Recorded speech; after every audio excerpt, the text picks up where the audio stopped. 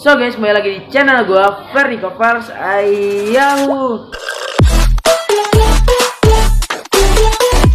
So guys, hari ini gue mau kasih tiga tips cara agar ikan arwana silver dan arwana jadini nggak berantem. Pada saat digabungin karena ada beberapa orang yang pernah di komen di video dulu gue no video yang arwana silver itu ada yang pernah komen bro gimana sih caranya biar arwana jadini sama arwana silver nggak berantem? Kok pas digabung damai-damai aja nggak berantem? Nah sekarang bakal gue bahas nih tiga tips cara biar ikan arwana silver dan arwana jadini nggak berantem. Seperti punya gue di belakang ini nih? Damai-damai aja kan oke langsung gue kasih tau aja ya guys ya. Sebelum itu kalian harus subscribe channel ini dan like dan share agar gue semakin rajin untuk mengupload video setiap hari ya guys ya Oke, langsung gue mulai aja ya guys ya. Oh ya ini tiga chip ini menurut gue ya guys ya. Mungkin menurut orang beda-beda. Tapi ini menurut gue karena ini pengalaman gue selama memelihara ikan arwana. Oke, langsung kita mulai aja ya guys ya. Asyap.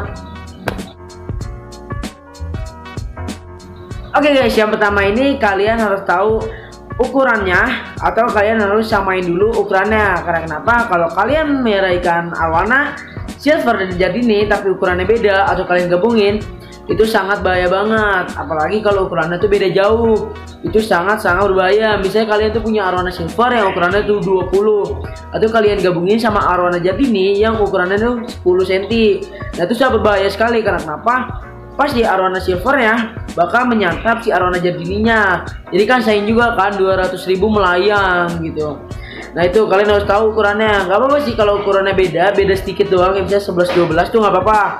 Tapi lebih baik sama. Jangan kayak gue nih, ini gue 11 11 12 mungkinnya ukurannya ya, nggak terlalu beda jauh.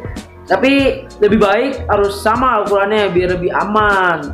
Tapi ini selama gue melihara arwana gue yang ini ini nggak berantem damai-damai aja walaupun ukurannya agak berbeda.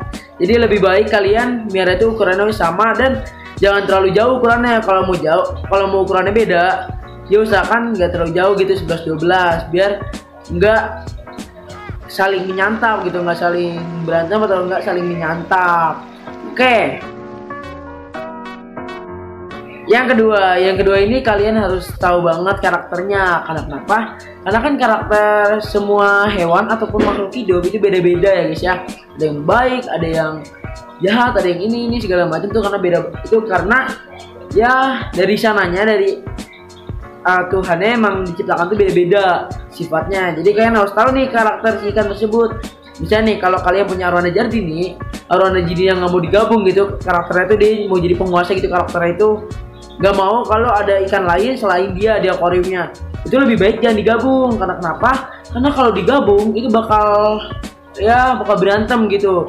Itu bahaya banget. Kalau bisa karakternya itu harus sama gitu saya sama. Bisa kayak arwana jadi ini gua.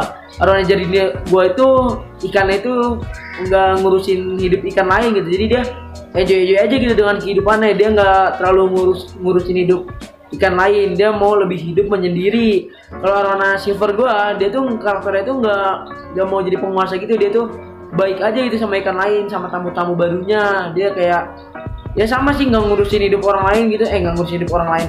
Nggak ngurusin hewan lain gitu. Jadi, jadi hidup sendiri aja gitu ngurusin hidup sendiri. Jadi kalau ada ikan baru kayak TSN silver dollar tuh nggak bakal di dibutin sama si Jet ini sama si ikan arwana silver ya. Karena dia karakternya itu sama dua-duanya sama-sama. Nggak ngurusin hewan lain atau lebih suka menyendiri gitu. Nah kalian harus tahu tuh karakternya. Jangan sampai kalian melihara arwana silver arwana silver itu dia karakternya itu apa namanya galak gitu galak jahat atau nggak mau ada ikan lain selain dia itu lebih baik jangan karena bakal berantem tuh si arwana barunya. Jadi pas arwana baru datang itu si arwana silver itu yang karakternya kayak gitu tuh ngira wah ini lawan gua nih masuk masuk aja nih gitu kan. Ada diserang itu bahaya banget. Jadi kalian harus tahu tuh karakternya kalau bisa karakternya sama sama-sama. Si karakter yang silver tuh baik arwana yang jadinya tuh baik.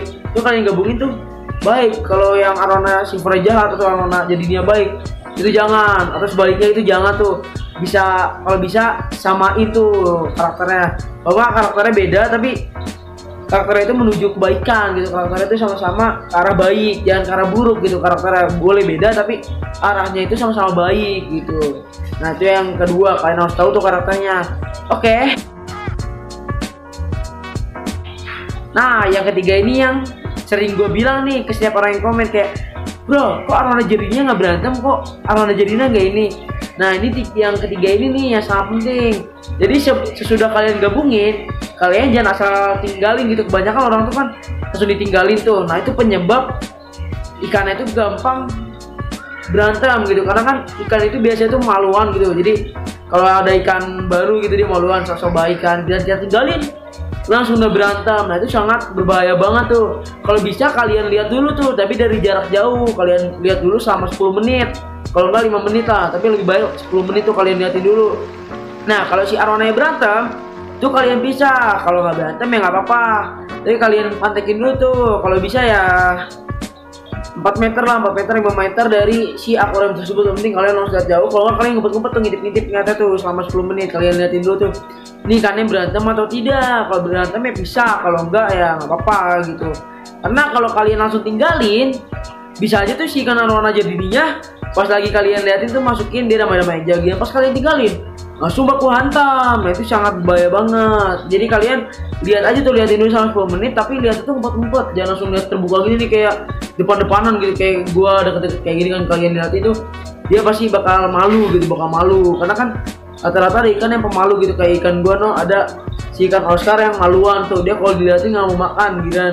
Dia dari jauh gitu pas dia lihat kayak wah ini gak ada orang nih dimakan lah gitu ada ikan Oscar gue sifatnya kayak gitu tuh. Jadi kalian liatin dulu tuh. Liatin dulu sama 10 menit. Kalau berantem kalau berantem ya bisa gitu. Udah gue ulang gitu ngomongnya. Jadi lebih baik kalian gituin tuh. Nah itu tiga tipsnya. Tiga tips gimana sih caranya agar ikan predator eh ikan predator ikan arowana silver dan jadi ini nggak berantem? Yang pertama kalian harus samain ukurannya. Jangan beda. Kalau mau beda ya 11 12 biar gak terlalu inian gak terlalu beda jauh dan gak saling santap gitu. Atau yang kedua tuh kalian harus tahu karakternya nih. Kalau bisa karakternya sama nih kayak Arwana Silver Gold. Ini eh, Arwana jadi ini sama Silver Gold itu sama-sama baik jadi aman. Atau yang ketiga jangan langsung asal eh jangan langsung asal maksudnya. Jangan langsung ditinggalin tuh kalau bisa kalian liatin dulu tuh aman atau enggak ya guys ya. Itu kebanyakan ya arwana si arwana itu kecil itu emang baik gitu arwana ya, baik. Arwana dulu kecil itu emang baik rata-rata ya tapi pas udah besar pas udah apa namanya itu udah birahi nanti bisa kadang bisa jadi galak akhirnya berantem.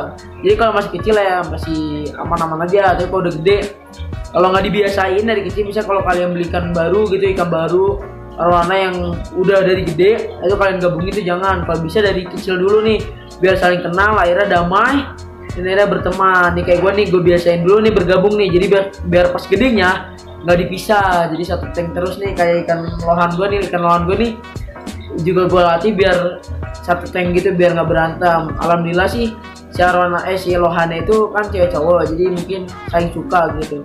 Ini juga mungkin nih tapi nggak tahu juga ya guys ya. Oke itu aja sih tiga tips dari gue semoga bermanfaat. Ya kalau nggak bermanfaat yang gak usah kalian tiru gitu. Simpel aja sih kalau nggak bermanfaat yang gak usah kalian tiru. Kalau bermanfaat ya kalian tiru gitu. Karena ambil simpel aja anjay. Jadi semoga bermanfaat tuh kalian semua ya semoga sih nggak ada yang nanya. Eh nggak apa-apa sih kalau nanya sih karena kita harus saling membagi ilmu gitu. Bisa kalian lewat DM juga nggak apa-apa karena yang DM pasti bakal gue jawab jawabin kok. Jangan ngira gue tuh sombong. Enggak gue nggak sombong. Setiap orang yang DM gue pasti gue balas gitu. Yang komen bakal gue balas. Gak usah ngira ah nggak usah DM jadi ngerinya. Nggak mau jawab lagi. Santai aja. Banyak kok yang udah sering gue balas DM DM jadi kalau kalian mau nge-DM gue atau mau nanya sesuatu ya nggak apa-apa. Santai aja ya guys ya. Oke? okay? Terima kasih yang udah menonton channel gua. Semoga kalian dimudahkan rezekinya ya guys ya. Dan selalu sukses selalu ya guys ya. Selalu sukses selalu gitu ya. Oke sekian dari gua. Terima kasih. Jangan lupa di like comment subscribe dan share teman-teman kalian. Biar teman-teman kalian tahu video-video menarik tentang ikan predator ya guys ya. Oke bye bye assalamualaikum warahmatullahi wabarakatuh. Siap